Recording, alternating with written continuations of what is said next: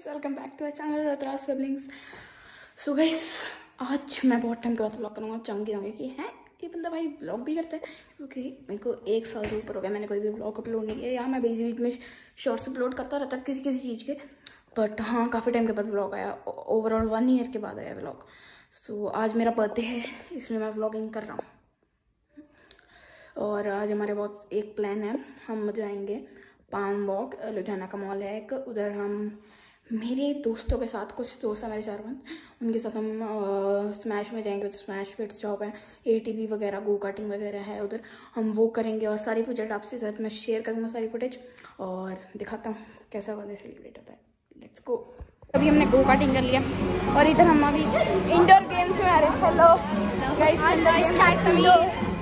So guys अभी हम यहाँ पे गो कार्टिंग करके यहाँ पे इंडोर गेम्स खेले हैं। शूटिंग वगैरह भी है यहाँ पे काफ़ी कुछ है।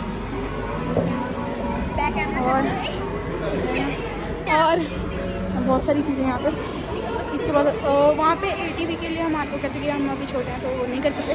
बट हमने गो कार्डिंग की बहुत मज़ा आया। मतलब रियल लाइफ ब्लॉगिंग वाला मज़ा आया। मतलब रियल लाइफ जैसे कार चलाते हैं ना वैसा मज़ा आया। और अभी इंडोर गेम्स खेल रहे हैं हम। बिल्कुल।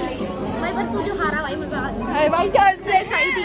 गाइस अब हम करने जा रहे हैं रोलर कोस्टर जो कि मतलब बहुत मैं फ़ोन तो नहीं निकालूँगा। मतलब हाँ नीचे से शूटिंग करवा देंगे पर ऊपर से हाँ पर ऊपर पर ऊपर से नहीं है। मैं मतलब रोलर कोस्टर करते हुए नहीं कर सकता। क्लैरिटी काफ़ी सही है। गाइस अभी यहाँ पे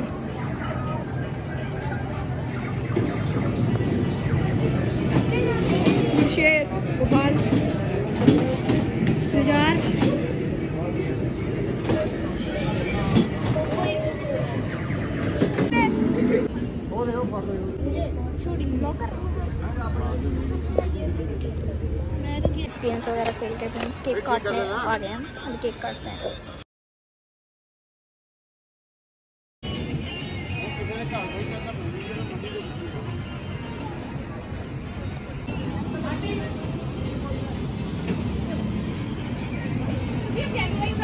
आज का ब्लॉग यहीं पर एंड होता है। अभी हम खाना वाना खा के गेम्स वगैरह खेल के आ चुके जैसा आपने देखा। और केक भी काट लिया है और आज का लोग यहीं पे तो बहुत अच्छा दिया था मेरा आज और बहुत मज़ा आया। तो आज का ब्लॉग बस इतना ही। Peace out